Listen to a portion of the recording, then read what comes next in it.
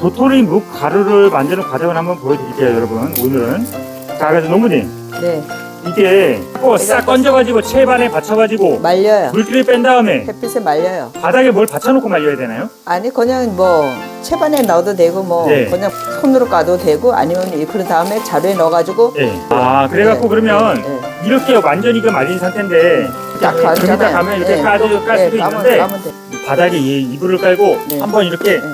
돌려요, 그냥 위에 그러면 이제 좀 이게 떫은 맛이 없어지잖아요. 떫은 맛도 얼른 없어지고 이게 물렁해지나요? 네네 물렁해져요. 네. 아, 예, 그렇게 5일 정도 물에 찬물에 네네. 근데 흐르는 물이 아니고 그냥 담가. 여기다가 한번 더 짜. 네, 안녕하세요. 은행마른 농원입니다. 자, 오늘은 자 이거는 100% 자연산 도토리거든요, 여러분. 네. 저희가 저기 뒷산에 가서 주워 온 건데 100% 이거는 뭐 자연산입니다, 여러분. 자연산인데 도토리 묵 가루를 만드는 과정을 한번 보여드릴게요, 여러분. 오늘은 자, 그래서 농부님 네. 이게 이 도토리를 주워 와가지고 네. 바닥에 떨어진 생도토리를 보통 주워 오잖아요. 네. 끄떡갈라고 밑에서 네.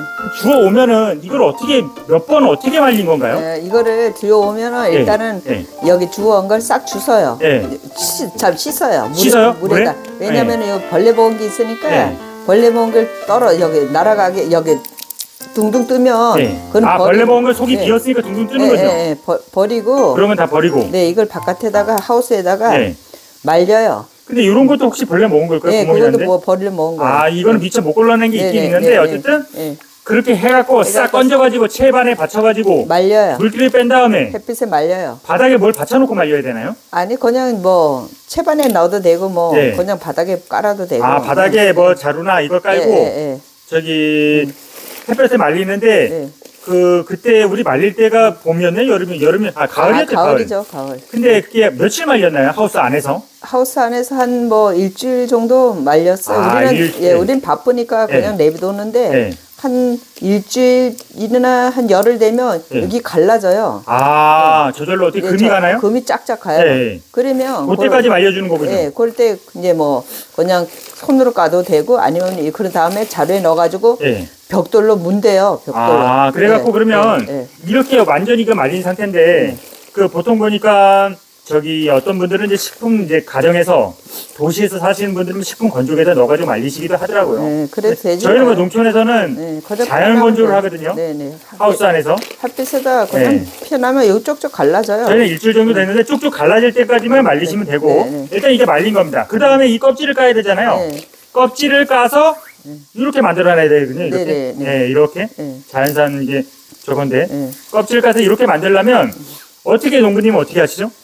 이래 해가지고 예. 여기 물에다 이제 껍질을 다 깠잖아요. 예. 그럼 이걸 물에다 담가요. 그러니까 아니 껍질을 이거 네. 어떻게 깠죠 처음에? 아 우리는 그냥 얼마 안 되니까 네. 벽돌로 문대 가지고 아 벽돌을 예. 자루를 하나 씌워가지고 예, 예. 문질러 가지고 이렇게 문질러서, 예, 예. 금이 쫙쫙 가면 바닥에 뭐 이불이나 뭘 깔고 네, 네, 네. 그러면 이렇게 막 그냥 이렇게 아 바닥에 시멘트 바닥 위에 뭐 비닐이나 자루를 깔고 예, 예, 자루를 깔고 아. 예, 자루에 넣어가지고 네. 예, 자루에 넣어가지고 해도 되고 자루에 넣은 다음에 이 네, 벽돌을 네, 그냥 네, 문지르는 네, 거죠. 네, 네. 그런 다음에 하면 짝짝 갈라지고 짝짝 갈라- 그래도 안 되는 거는 또 벤치로 까나요? 예, 예, 그걸로도 이걸로? 하고 예. 그래도 안 되는 건 이걸로 예. 살짝 안 된 게. 또 있으면 또 갖다가 골라다가 또 그렇게 벽돌로 문대요.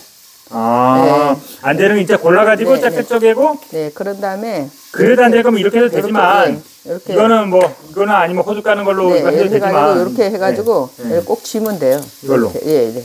이렇게 꼭 쥐면 금이 이렇게 딱 해- 금이 딱 가잖아요. 가면 이렇게 까지- 또, 깔 수도 까면, 있는데 까면 돼요. 어쨌든 벽돌로 한번 문지른 네, 다음에 네. 그 골라내고 또 벽돌로 문지르면 되고 아니면 몇 가지 몇 돌로- 방법이 몇 있는데 돌로 해도 돼요. 몇 돌. 아니면 맷돌 있잖아요. 네. 맷돌 위에 거를 갖다가 이 바닥에 이 이불을 깔고 네. 한번 이렇게 네.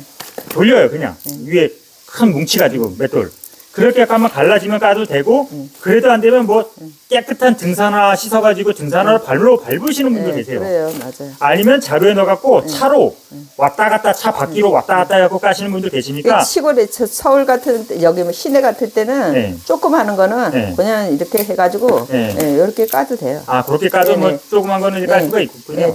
하는 거는 아니면- 그래가지고 이걸 한 5일 정도 네. 여기 담궈요. 음, 아니면 이렇게 해서 옥수수 네. 까는 걸로 해가지고 네. 이런 식으로 껍질을 깝니다, 네. 여러분. 네. 껍질을 까면 이제 알맹이가 이렇게 생기거든요, 네, 네. 여러분. 알맹이가 이렇게 생기는데 요거를 그러면 얼마나 담가놔야 한 되죠? 5일 정도 담가놔요. 오일이요? 예, 예. 그런 다음에 예. 그러면 이제 좀 이게 떫은 맛이 없어지잖아요. 떫은 맛도 얼마 없어지고 이게 물렁해지나요? 네네 물렁해져요.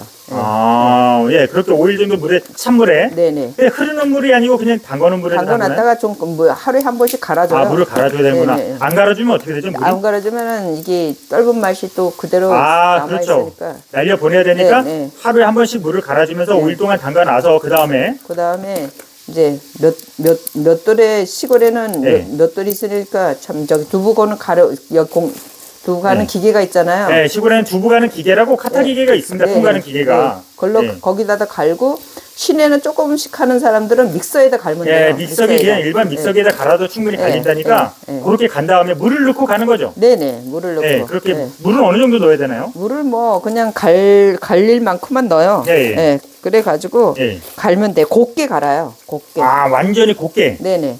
한번 갈고 예. 한번 엉그르면 예. 또 다시 한번 갈아요. 믹서에다가. 한번 간 거를 네. 한 번에 한 대 모았다가 믹서에다 또 다시 한번 다시 갈아요. 한번 가는군요. 두 번 가는군요. 네, 아주 고우면 네. 이게 가루가 많이 나오니까 아, 곱게 갈아가지고 예. 저 자루에다가 네. 자루에다가 그러니까 자루가 이게 이 엉근 자루에다가 완전히 좀 예. 이게 좀 구멍이 예, 예. 저거 한 자루 있잖아요. 예, 이거 이제 이게 무슨 자루라 그러죠? 이 마트 가면 이제 두부 짜고 짠 아, 자루 마트 가면 팔아요. 두부 짜는 예. 자루 달라고 하면 주는군요. 예, 팔아요. 예. 아, 이거 한 장에 얼마씩 주셨나요? 예. 이거는 얼마 안 가요. 싸요. 아, 예, 예. 이 두부 짜는 자루에다가 한번 이제 이거 가른 물을 네, 내리고 믹서기에 가른 물을 내리고 예. 또한 번 고와야 되니까 얘는 그 고와야 다음에 이제 되니까 고운 자루에다가 고운 자리다 이게 몇 번이에요, 몇 번? 네네 네, 면. 삼배 같은데? 네네. 아. 삼 3배가 아니고 네. 이제 면자루에다가 면자루에다가 한 번 내리면 곱게 돼요. 한 번 더 내려요. 네네. 그럼 찌꺼기는 버리고. 네네. 그 버리고 물을, 물을 이제 담아놨어요. 담아놔요. 네. 담아나면은 어디 뭐 양재기나 이런 네, 데다가 네, 네, 담아놓고 네, 네. 네. 담아나면은 그거가 거기 전분이 가라앉아요. 네, 전분이 가라앉죠. 예, 전분이 가라앉으면 예. 그걸 이제 우물을 확 따라내고 예, 윗물을 따라내고 그리고 이제 뭐 잘 안 가라앉을 수도 있어요. 네, 안 네. 가라앉을 때는 면보에다가 버요. 네. 다라에다가 네. 해가지고 면보에 보면은 거기 하나 한 방 하면 물이 다 떨어져가지고 위에는 전분만 남아요. 아 면보에다가 해도 네네. 고운 면보에다가 네네. 아. 그런 다음에 햇빛에 네. 널든지 시 여기 뭐 겨우 가을에 했을 때는 뭐 방에다 이래 널어놔도 한 이틀이면 다 아, 말라요. 금방 마르는군요. 네네네. 아니면 네. 햇볕에 널어갖고 널어놓으면 이틀이면 전분 가루가 바싹 마른다. 바- 면보에다 면보를 깔고 네. 거기다가 이제 그 가라앉은 여기 네. 전분을 이렇게 똑똑 띄나면 네. 금방 말라요. 아, 그런 다음에 그거를 들 마르면 안 되겠죠? 물 말르면 안 되죠. 곰팡이 피면 필까요? 네, 네. 그래 그리고 놨다가 나면은 냉장고에 넣어놨다가 두 묵해 드시면 아. 뭐 일회용 저기 지퍼팩이나 네네. 진공팩에다가 네네. 딱딱 넣어놓고 네. 먹고 싶은 만큼 양만큼씩 넣어놓고 네. 이제 저기 냉동실에 보관해 놨다가 냉동실에 안 해도 되고 뭐 냉장고에 넣어놔도 아. 냉장고에 넣어도 괜찮아요? 네네. 그, 그 냉장고에 보관해 놨다가 먹고 싶을 때마다 먹고 싶을 때마다 해도 이게- 되고 아니면 장기가 보관할 때 냉동실에 보관하시고 네.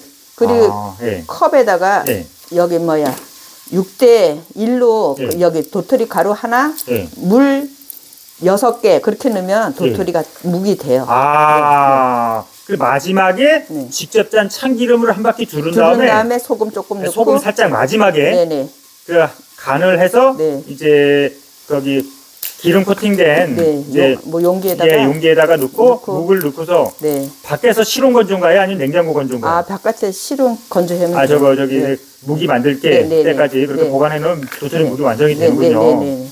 아, 여러분 어쨌든 이게 되게 귀한 겁니다. 왜냐면 시중에 가면은 중국산이 워낙 많잖아요. 도토리 가루가.